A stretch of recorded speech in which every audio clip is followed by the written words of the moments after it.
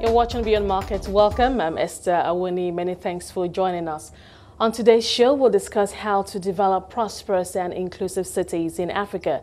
As always, you can join the conversation. Just follow us on Twitter as, at CNBC Africa. You can also follow me too at Esther O Awuni. Use the hashtag Beyond Markets. Now, Africa is expected to grow by nearly a billion people by the year 2050. So how can governments across the continent plan ahead to build prosperous and inclusive cities on the continent? Hastings Chikoko, Africa Regional Director of C40 Cities Climate Leadership, joins me for this discussion. Now, Hastings, before we go into uh, how we're looking at national urban policies as a policy tool to help assist national governments in better planning uh, their cities, especially for the future, and just basically coping with uh, the rising urbanization that we're seeing. Let's talk about how urbanization has panned out, or rapid urbanization has panned out in the last decade or so, and the picture that we're seeing right now. Talk us through that.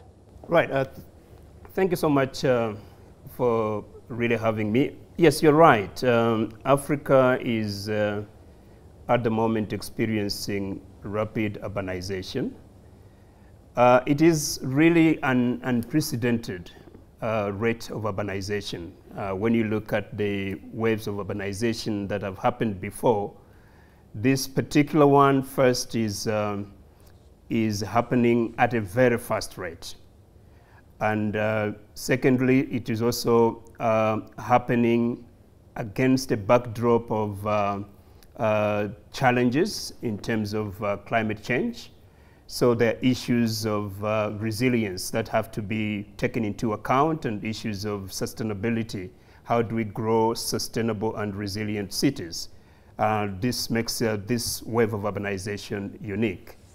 But it also uh, is happening at a time when the urban population or the people that are coming into these cities are well empowered they have access to information uh, through technology, and they are more empowered to demand uh, better quality of life. So it's really at a time when um, uh, city governments as well as national governments have to deal with uh, increased demand for social services that are actually um, coming from people that have access to better information that can actually do a comparative analysis of their quality of living with uh, cities elsewhere. Um, in Africa, the uh, urbanization, the rate actually, the growth, the population growth in cities is varied. We have some cities where, that are expected to really like uh, double the current size. And uh, we have uh, some cities that uh, seem to be really uh, stable. Uh, but what is important to notice is that we have cities that we can consider secondary cities at the moment. Cities that are really small towns at the moment that are projected to, to actually grow. And uh, this, the systems that are in place at the moment are not well positioned to cope with the growth that is, that is expected. What we're hearing now is that the urbanization we're seeing on the continent is coming or is bringing more challenges than opportunities. I mean, obviously the opportunities are there, uh, especially for new planning and uh, for those governments who are committed to using uh, the national urban policies as a tool to drive uh, better cities in the future. But what are your thoughts in terms of how big a problem that could be for governments who uh, who now want to you know show some commitment in making the cities more progressive?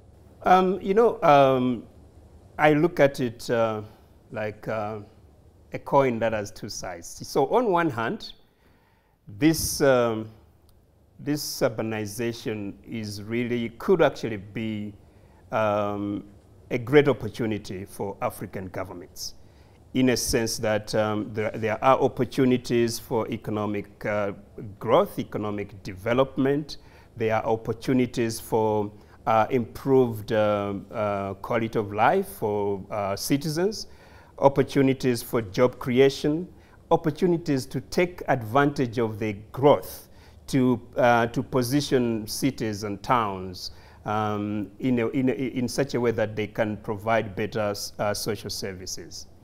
However, this is only possible if national governments are prepared, if national governments are actually putting in place uh, policies and plans that can actually harness this, uh, um, these opportunities that are rising from the demographic shift. Um, the challenge that I see is that that is not happening uh, at, a, at, at, a, speed that, uh, that aligns with the rate of urbanization. So if we are not careful, the population growth or urbanization itself could actually just translate into multiplication of poverty in uh, African cities. It could actually increase conflicts in African cities, but it, it, it, and it could also just multiply or increase the levels of inequality in African cities. That's the danger that we should, uh, we should, uh, we should actually um, be on the lookout for. That's the challenge that national governments should embrace. Now, for, for them to be prepared, there is need to, to be well, for them to be well informed. And this brings us to the point of uh, data management or access to sound information uh, that, that actually equip, uh, equips the, the, the leadership at national level to be able to plan accordingly. Um, most of the times, you find that uh, policies or plans or strategies that are made are really just uh, those that come from the podium. Uh, political podium, maybe promises made during campaigns, or the really things that are to some extent thumbsuck. We need to take a radical shift. We need to embrace data-driven, evidence-based planning. And this is where uh, most national governments need, uh, should start from. We need to ensure that we have systems in place um, that actually enables us to um, gather, to gather uh, uh, relevant data. We need to make sure that there are partnerships in place with um, uh, research and academic institutions that, that help us really harness the knowledge that is out there to inform planning. But we also need to make sure that we are able to do scenario uh, planning, to do modeling, to help us really project what this urbanization mean to different sectors in, in, in, in, our, in our countries. What does it mean uh, in term, uh, what does it mean in terms of infrastructure development? What does it mean uh, in terms of job creation, in terms of uh, provision of health services? We need to be able to project that. This is a gap at the moment. Africa in general has got um, um, information poverty that needs to be addressed. And cities um, need to actually take lead in ensuring that they are closing information gaps within, with, uh, within their jurisdiction, but also within the context of uh, broader urban, um, uh, broader national imperatives. Now, according to a paper by I mean, C40 Cities Climate Leadership, you've said that uh, national urban policies could be a very effective tool. You've also pointed that out uh, from what you said so far. And of course, key to achieving that will have to start at the top. That's the national government's commitment on their part, strategic leadership to, to appreciate and identify uh, the, the need for this going forward. Now, for, as far as national urban policies are concerned, about, according to the paper, 18 countries right now, including Nigeria, have something similar to what a proper uh, national urban policy as a tool should look like. Uh, would you say that that is still that's considered a good starting point? And can these countries and perhaps others build on what they have right now going forward? Well, I wouldn't say it's a good starting point. I think um, we could have done better. 18 countries um, having national policies out of over 50 countries, uh, that's, that's concerning. And of course, one thing that you should also understand is according to the paper, the report, the recent report, that uh, African Center for Cities, uh, in, uh, in collaboration with the Coalition for Urban Transition, have produced, they have demonstrated that the policies that are there in these 18 countries, um, number one, they haven't actually ticked all the boxes. Some of them really just uh, really are beginning to look like urban policies. There is a lot of work that needs to be done. Secondly, um, these policies um, they have been developed in the, in the, in the last uh, decade, really. Uh, so they are fairly new and, um, and uh, they are still, we, we still need to look into how they are being implemented. So there is some experience also that needs to be to be to be to be harnessed in terms of how best we can implement these policies. So um, there is a lot of work that needs to be done in terms of um, uh, policy development, and for me, um, the question one should ask is um, how should these policies be developed first, and second, what should they look like? So in terms of how, it uh, links back to what we have been discussing um, on uh, availability of data, availability of evidence that can inform the development of these policies, but also making sure that um, uh, there is adequate consultation in the development of these policies. They are not policies that are just um, uh, top, top uh, down, but they are policies that um, have um, involved um, different affected groups, right from the communities, right from the um, urban residents themselves to uh, national, but also aligning them with some international commitments. We have just um, had, a, I think, a, a, couple of years ago, um, the new urban agenda, which is kind of like a global commitment and uh, a global framework that, is, uh, that, that guides UN uh, member states uh, on how to develop uh, cities and how to really um, approach um, urban development, including this whole rapid rate of urbanization. There is need to make sure that what the process for developing national okay. urban policies aligns with uh, the new urban agenda. But also, I've talked about the challenge that we have on sustainability and resilience. I think we need to also ensure that um, the policies we have embrace that and align them with uh, the Paris Agreement, which is an agreement that member states uh, made in terms okay. of uh, how they respond to challenges of uh, climate change. We're going to take a break at this point, Hastings. We'll come back and talk about the role that C40 Cities Climate Leadership uh, is playing in all of this. We'll take a short break and we'll be right back. I've been speaking to Hastings Chikoko, Africa Regional Director of C40 City Climate Leadership. Still with me on today's show is Hastings Chikoko, the Africa Regional Director of C40 Cities Climate Leadership. Hastings, thank you for your time so far. You've you've uh, pointed out many points in terms of how uh, the policies that will help, that could help uh, African governments build sustainable, inclusive cities in the future. And of course, key to that is coming up with very uh, concrete and progressive national urban policies. But I'm I'm also thinking that for those when those if those policies are eventually put together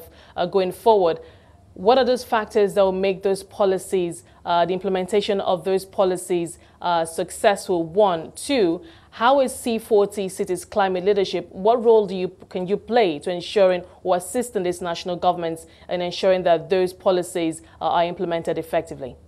Right. Um, the recent report that has also that has uh, been um, released by African Center for Cities and the Global Coalition for Urban Transition has highlighted some key uh, areas that uh, national urban policy development processes should, uh, should consider. I think the first um, thing that I, I, we should emphasize is really focusing on uh, governance. So we need to, to, to make sure that the governance regimes in our countries uh, do allow for coordination and linkages between different spheres of uh, government, uh, right from the um, uh, city governments to provincial governments and to national government. At the moment, uh, this, is an, this, is, this is an area of weakness in most countries where you find that uh, what um, the national government is doing does not really translate to meaningful um, uh, impact at the city level and vice versa. So we need to ensure that the policies that we develop close that gap. We need to engage with uh, different um, levels of government, including the local, local institutions, um, and make sure that um, these spheres of governments are empowered, uh, making sure that they have the resources, they have the capacity to actually play a meaningful role in, uh, in, in, their, in, in, the implementation of the policy.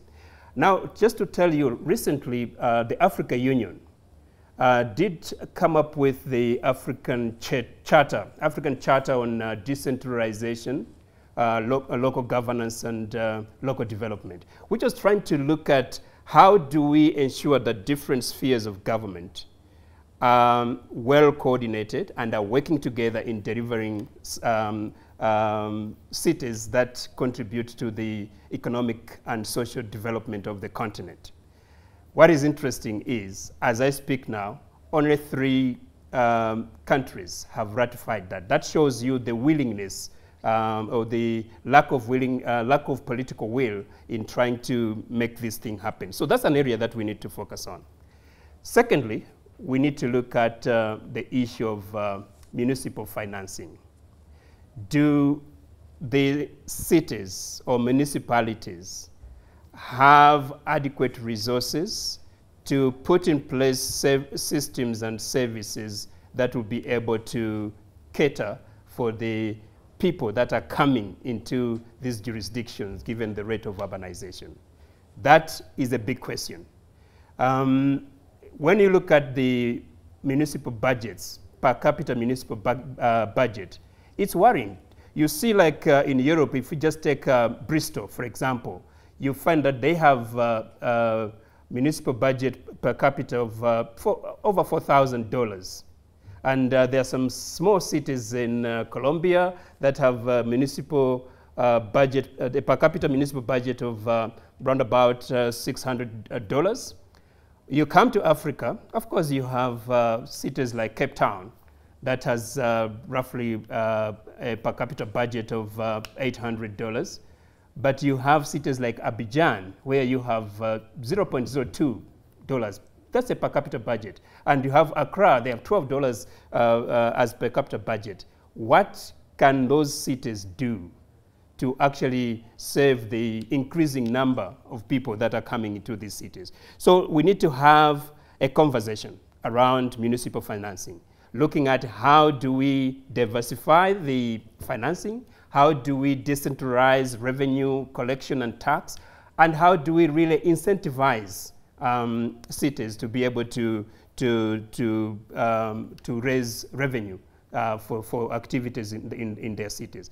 Now, Hastings, I asked earlier the support, uh, the work that C40 Cities Climate, the, the, work that you do, especially uh, in assisting national governments, perhaps uh, uh assisting them with the national urban policies and, of course, issues around climate change.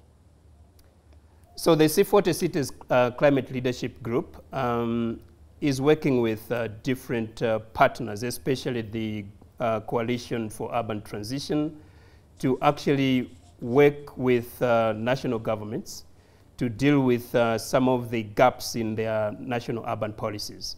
And uh, what we are focusing on, besides what I have uh, mentioned, besides the uh, improving, improved governance, uh, improved financing, we're also looking at issues of infrastructure. For the African cities to really thrive and be able to contribute meaningfully to the national economic development, we need to really look at um, the infrastructure in the city in terms of the uh, quantity, quality, but also how resilient it is. So um, we are working we are working with uh, different cities to really examine the status of infrastructure in in, in, in that cities, and that is another area that is also concerning.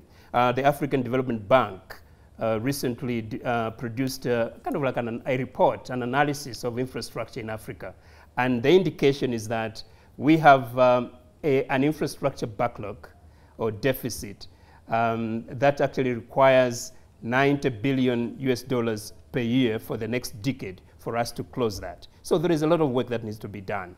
And uh, we cannot talk about our cities uh, attracting investment. Um, or uh, really, we cannot even talk about growing uh, city economies without um, uh, improved water infrastructure, without improved um, energy infrastructure and the road, uh, the road infrastructure itself. So uh, C40, working with the global um, um, Coalition for Urban Transition, uh, we are having conversation with uh, both cities and national governments to see how we can, we can close that. Um, this, the other area that um, I know that there's, there's, I know there's a lot of work. I know there's a lot of work that the the government has to do, but what about the role of the private sector here? Excellent. Um, so yes, for cities to really achieve some of the uh, objectives that they are setting, both infrastructure and also even uh, economic development, there is need to really develop meaningful partnerships. And um, the partnerships really range from uh, getting the requisite knowledge and innovation, so partnership, partnerships with uh, university and academic institutions, but also getting that innovation incubated in the cities and being rolled out in cities. And this is where we actually um, supporting cities to engage with the business sector uh, into kind of like um, uh, co-creation of solutions to different challenges that cities are are facing. In C40, for example, we have an initiative which we call City Solution, Solutions Platform. This is a platform that we are creating where city leaders, and sometimes we invite some uh, national leaders, engage with uh, the business sector and look at the challenges that uh, cities are facing, um, especially given the um, urbanization and given the, the imperative to, to grow economies. And on the basis of that, try to to co-create uh, solutions and, uh, and engage the, uh, the private sector to be key players in providing uh, the solution. There is an opportunity at the moment because um, most cities have embraced um, the role, the key role private sector plays in terms of investment, in terms of innovation, in terms of technology, but also really in terms of the implementation or, or shaping policies um, uh, within these cities. So we need to harness that. Um, having said that, there is also need to engage uh, local uh, institutions, community institutions, and it's not just private sector and city leadership, but the beneficiaries themselves also have to be part of this. So for example, when we deal with um, issues of um, um, uh, services, social services, we shouldn't just sit down with uh, cities and with uh, city officials and um, private sector and try to, to come up with solutions. They should be part of the conversation. They should come to the table. So partnerships with okay. local groups, um, local community groups or community uh, committees, whatever is out, uh, out there is also very critical. Okay, Hastings, I mean, Africa is expected to have a population surge by the year 2050. Now, from all that you've said, I mean, the picture doesn't look too bright, especially when one looks at the number of countries so far that have come up with uh, national urban policies. And for those 18 that have that right now, like you said, it's not even something concrete. How optimistic are you going forward that uh, we can, as soon as possible, get on the right path and move at a pace necessary to prepare African governments for the, the, the rapid urbanization that we're going to see in the city and, of course, the huge population growth? What are your thoughts on that?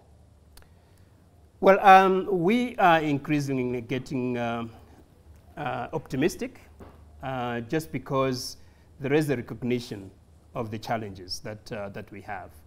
And already there are some guiding frameworks that have been put in place that I, I believe will, uh, will um, guide the thinking as well as the response to close the, the gaps that currently exist. I will cite um, a few, first, first of all, at the international level, uh, the new urban agenda does set clear uh, guidelines on how national governments can actually uh, embrace urbanization and how national governments can, uh, can uh, develop um, national urban policies. But also if you look at the Sustainable Development Goals, you, you, you will see that there is basically one goal that is specifically focusing on urbanization. This is actually uh, the first time we are having uh, a development goal that has a specific focus on uh, urban areas. So that to me is an opportunity. I, I, really do appreciate your time today. We're going to have to leave it there. Thank you so much for sharing that with us today. We appreciate your time. Hastings Chikoko, Africa Regional Director of C40 Cities Climate Leadership. That's all we have on today's show. As always, you can watch our previous episodes of Beyond Markets on our website. That's cnbcafrica.com. You can also stay engaged with the hashtag Beyond Markets and you can follow my Twitter handle too at Esther O. Thank you for watching and have a wonderful evening.